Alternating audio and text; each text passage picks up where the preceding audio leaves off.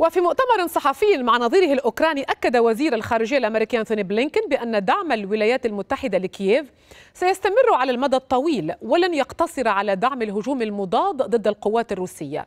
مؤكدا في الوقت نفسه بأن الهجوم ما زال بطيئا. كل مرة آتي لكييف أفاجأ ببسالة وشجاعة القوات والشعب الأوكرانيين وأنا هنا لإظهار دعمنا المستمر والمتواصل لأوكرانيا في ظل استمرار الاعتداء على أراضيها. نحن رأينا بعض التقدم البطيء للهجوم المضاد ونريد التأكد من أن السلطات الأوكرانية ستحصل على ما هي بحاجة إليه ليس على المدى القصير وإنما على المدى الطويل لكي تكون لها قوات قوية.